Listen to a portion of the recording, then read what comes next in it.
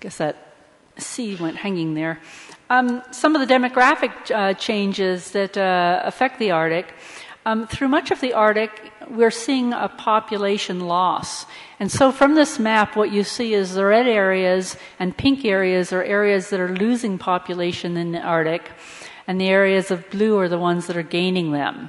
Uh, the funny little dots in the Canadian part of the Arctic is, are, due to the way we collect statistics uh, uh, for settled points versus uh, um, districts or larger areas. Um, but this uh, shows you that there are a lot of uh, um, areas of loss of population. Birth rates among um, Arctic residents are fairly low, uh, a little bit lower among the non indigenous than the indigenous population, but relatively low. Um, mortality rates are higher on average. Uh, for the Arctic residents than non-Arctic parts of these uh, populations of these same countries, um, but the main influence is outmigration. And what we see is sometimes referred to the hollowing out of the population, especially from rural areas. Young adults are migrating out, and sometimes leaving uh, their children even behind. What we're losing are the most ambitious and most skilled people. Now, some of this is due to push factors, the decline of local resources such as fish stocks or the, the decline of services in the Russian north. We had a crash in services during the late 1990s. But a lot of it has to do with pull factors. One has to leave the Arctic in many cases to receive education or uh, jobs. I should say that this trend has reversed in a few areas in recent uh, times. There are more people going back to the uh, Norwegian north and the uh, Fennoscandian north, as you can see from a little bit of blue there. The red sort of predominates, but uh, um, in most parts we see a domination of pink and red. Um, urbanization, as I said, is increasing in the Arctic as elsewhere in the world. And again, this is a map which shows areas that are increasing in population in urban centers and other areas where uh, um, urban or villages are, are decreasing. Um, and so what we see is um, in most places the urban populations are increasing. Only again in Russia there's some decrease in the urban population. Um, the pace is different, but the trend is the same across the Arctic. And this is a trend for both the indigenous and the non-indigenous popu- uh, part of the population. 10% of uh, Canadian Inuit live in southern urban areas. There's a joke that the largest Sami community in uh, um, Finland lives in Helsinki, and the largest Sami community in uh, uh Sweden lives in Stockholm. 7,000 Greenlanders live in Denmark, most of them in Copenhagen. The population of Greenland is 55,000 people, so 7,000 is a pretty large percentage of that. That's 13% of the total population. Um, urbanization, urbanization, means uh, changes in lifestyle, increasingly uh, diversified economy, better services in education, better services in childcare, more diverse cultural activities, more diverse social relations. Urbanization has a gender dimension. Women are leaving rural places at a much greater rate than men are. This is because men tend to stay more in the traditional economic sectors, and women are leaving to pursue formal education and uh, the jobs that they can have from that formal education. And this has a negative effect on rural areas and the rural economy. It affects family uh, structure. It's very hard for reindeer herders in the northern part of Siberia to find wives these days. It affects public services. It affects the volunteer sector, as women tend to predominate in the volunteer sector. There are a few areas, like I mentioned, where this is changing, but it is, for the most part, a trend throughout the Nordic. Then we have another really interesting trend where groups are coming into the Arctic who previously weren't seen in the Arctic as global migration increases around the world.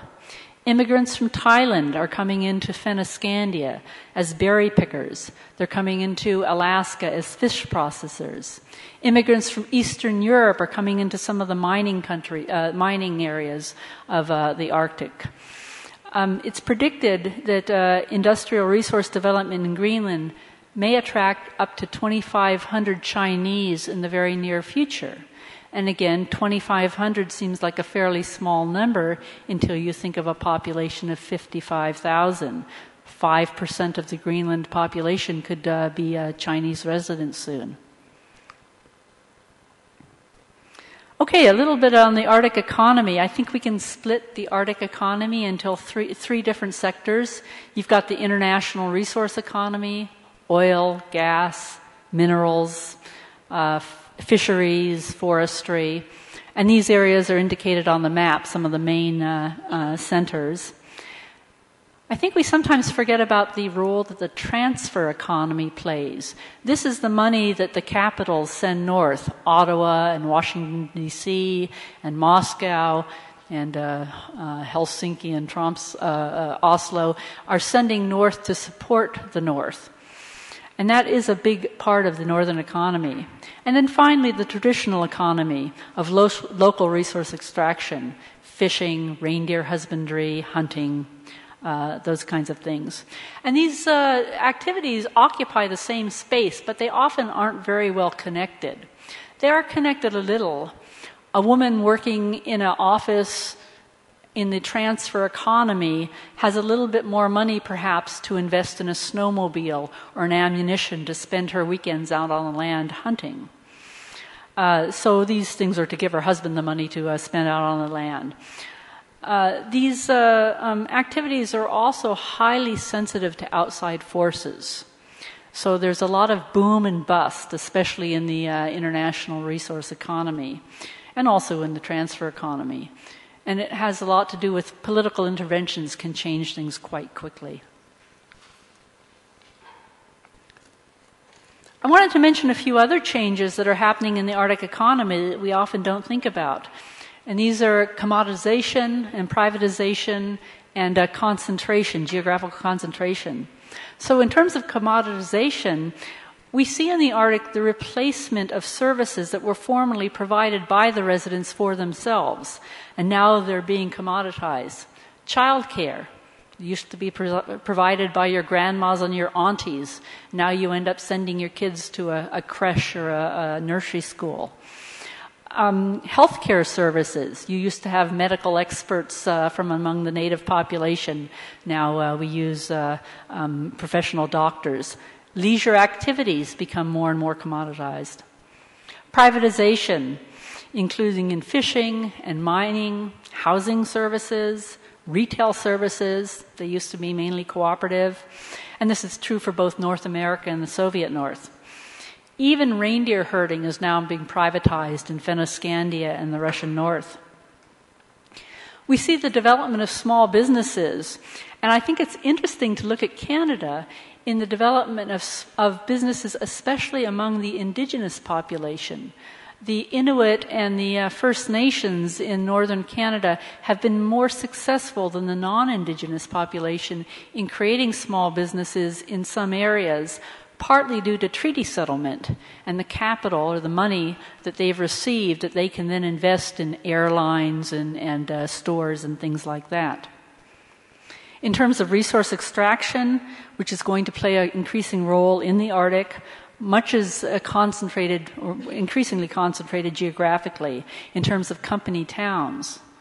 These company towns often don't really help the local economy. Workers come in and fly back out, and there's very little interaction with the local uh, people. We're also increasingly seeing local people raising the issues about ownership to the region's natural resources. Who should own them? Who should have access to them? Who should be able to exclude others from them? Under what terms? And who should benefit from resource extraction how should the benefits uh, be shared between the local population and the distant shareholders of companies? And how should they be main, uh, managed so that generations down the line, two, three, four generations, can also benefit from the extraction of resources that are happening today? And these are big and difficult questions. Some of the external drivers that I think we have to keep in mind are uh, the uh, global rise in raw materials prices, and especially because of the demand um, from uh, uh, places like China and India and other Asian countries. And also increasing accessibility makes these resources, which were formerly not uh, economically viable, to now be uh, economically um, interesting. Are areas that are losing population in the Arctic, and the areas of blue are the ones that are gaining them. Uh, the funny little dots in the Canadian part of the Arctic is, are, are due to the way we collect statistics uh, uh, for settled points versus uh, um, districts or larger areas. Um, but this uh, shows you that there are a lot of uh, um, areas of loss of population.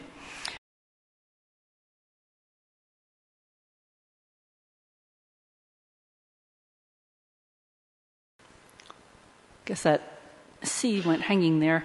Um, some of the demographic uh, changes that uh, affect the Arctic. Um, through much of the Arctic, we're seeing a population loss. And so from this map, what you see is the red areas and pink areas, and what we see is sometimes referred to the hollowing out of the population, especially from rural areas. Young adults are migrating out, and sometimes leaving uh, their children even behind what we're losing are the most ambitious and most skilled people. Now, some of this is due to push factors, the decline of local resources such as fish stocks, or the birth rates among uh, um, Arctic residents are fairly low. Uh, a little bit lower among the non-indigenous than the indigenous population, but relatively low. Um, mortality rates are higher on average uh, for the Arctic residents and non-Arctic parts of these uh, populations of these same countries. Um, but the main influence is outmigration. Uh, the decline of services in the Russian north, we had a crash in services during the late 1990s. But a lot of it has to do with pull factors. One has to leave the Arctic in many cases to uh, receive education or uh, jobs. I should say that this trend has reversed in a few areas in recent uh, times. There are more people going back to the uh, Norwegian North.